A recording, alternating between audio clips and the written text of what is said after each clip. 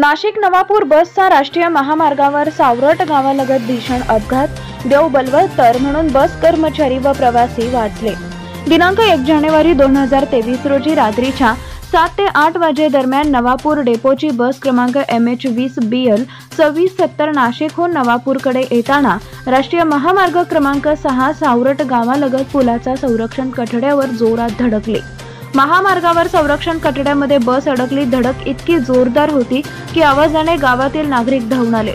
सावरड गावातील नागरिकांनी माणुसकी दाखवत मदत कार्य केले लागलीच पोलिसांना व एकशे आठ रुग्णवाहिकेला कळवत जखमींना तत्पर मदत दिली. बसमध्ये सुदैवाने एक ते दोनच प्रवासी होते अशी माहिती कळते. त्यात बस प्रवासी नामे सिकंदर गुलाब महमद अत्तार वयवर्ष पस्तीस राहणार ईदगाह रोड नवापूर यांना उपजिल्हा रुग्णालयात प्राथमिक उपचार देत रात्रीच सुट्टी देण्यात आली. बस चालक वाहक एक बस कर्मचारी हे जखमी असून नवापूर उपजिल्हा ग्रामीण रुग्णालय येथे उपचार घेत आहेत. अपघाताची तीव्रता इतकी भीषण होती की राष्ट्रीय महामार्गावर संरक्षण कठड्यांच्या मधोमध बस अडकून पडली. बसचा तोल थोडा जरी झुकला असता तर बसचा चक्काचूर होऊन जीवितहानी होण्याची शक्यता होती. देव बलवत्तर म्हणून प्रवासी व कर्मचारी वाचले. नवापूर आगारातील कर्मचारी वर्गाला मुकामार लागून जखमा झालाय सर्वांवर नवापूर उपजिल्हा रुग्णालयात उपचार सुरू आहेत. भीषण अपघातात बसचा अक्षरशः चक्काचूर झालाय. प्रतिनिधी आम्ही नाशिकवरून निघालो. नवापूर नाशिक नवापूर होती. दैवला लाइट अचानक बंद पडले. मी परत चेक केलं. लगेच चालू झाले. तिकडनं येता येता तर खरं तर झालं. सावरट पाट्याजवळ मग परत अचानक बंद पडले. बंद पडल्यानंतर एक मोटरसायकल राऊंड साईडने आला. त्याला वाचवायला गेलो. तर डिवायडरला दुसऱ्याने direct ठोकलं आपलं नाव काय? लक्ष म्हणा भावाराव ब्राह्मणे.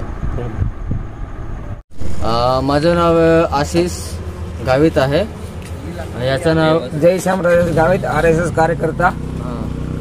आम्ही बसले होते गावात. आठ वाजेच्या दरम्यान आवाज आला आवाज आला होता.